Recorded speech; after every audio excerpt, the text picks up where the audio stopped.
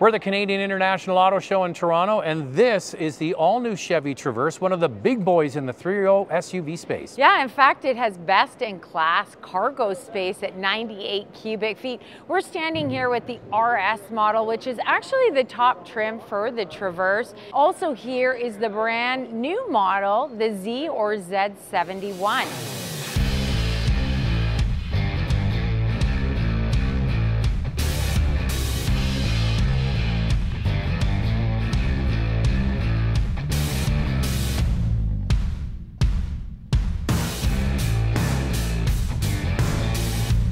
Now this RS is the sportiest version of the Traverse. It actually has a sportier suspension, you've got sportier grille, you've got black exterior accents, 22 inch wheels on this bad boy.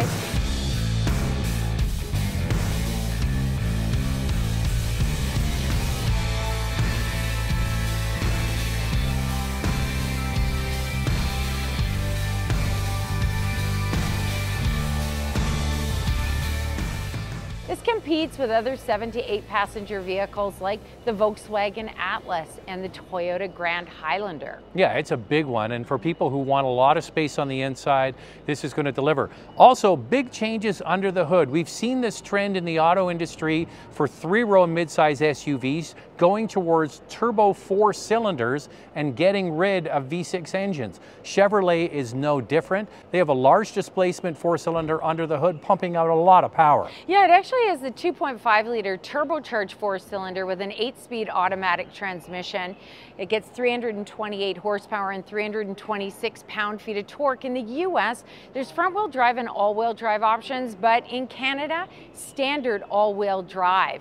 I don't know if some will miss the V6. This actually has more horsepower and torque than the V6. And when you compare it to the gas models of the Atlas and the Grand Highlander, it has more power torque's where it's at. We have to wait until we get a chance to drive it. So don't just go on the numbers. Don't be spooked by the engine. It could all come together to be a really good driving experience.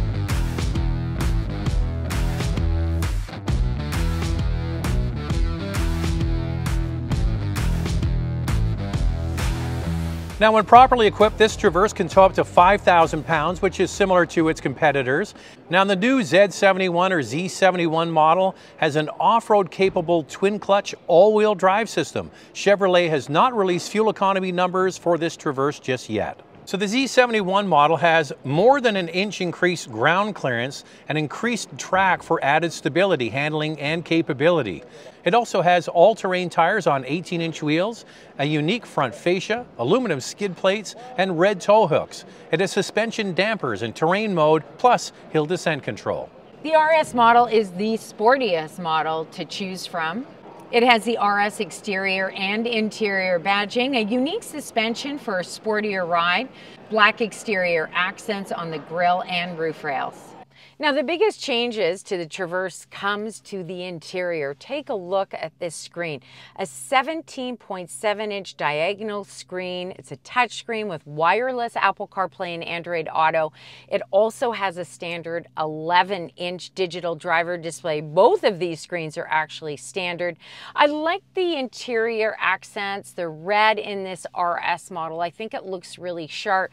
There's a nice high gloss patterned red here. I'm happy to see that it's not high gloss piano black trim. There's red stitching throughout, red stitching on the inside of the steering wheel, and of course the RS badging on the interior and exterior. As I had mentioned, the cup holders are side by side here. You've got a wireless charger. And of course, there's lots of knobs and buttons. You've got a volume knob. Not everything has to be done into the screen. Now, there's plenty of storage in here. This is very deep, which you would expect from the Traverse. I mean, it is a seven to eight passenger vehicle. There's also storage here as well. What I don't like is all of the piano black that's in here at the center console. Uh, I would have liked to have seen something, maybe a matte finish. That's not the case. We've got piano black here. Of course, it's got a great panoramic sunroof to keep everything open and airy and bright. The Traverse has a column shifter, bench seat, or available captain's chairs, a new smart SmartSense liftgate that recognizes your presence and opens it up for you. Overall, I think that the Traverse looks really good, and these are truly class-leading screens here. It looks very futuristic, very clean, yet modern.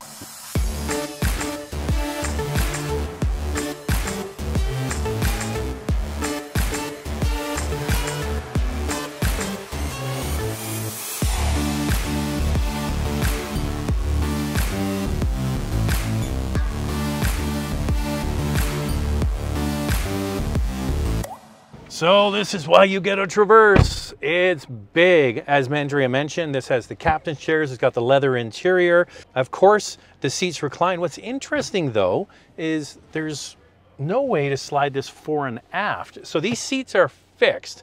The good news is they got a lot of room to work with, but that really is quite surprising. So bench seat available, captain's chairs on this model. Now I'll show you the back seat. Now what's surprising is because this doesn't slide fore and aft, on this model anyway, it limits the amount of legroom. So this is one of the biggest in the class, but not having that ability to slide the seats forward is a bit of a head scratcher. Uh, not sure, we don't have the bench model here to see if that does in fact do that, but this is kind of limiting. So they're actually setting up here for a Barenaked Ladies concert here at the auto show. So we're here inside telling you what we know and what we don't know. Um, pricing has not been announced yet. It's going to be announced closer to the on sale date. And there's four trims in the US and three in Canada and available Super Cruise on this model. Tell us what you think. Do you like the look of the new Traverse and the boxy design, that more truck-like feel? Yeah, I like it. All right, we're going to get a chance to drive it soon. Thanks for watching. See you next time.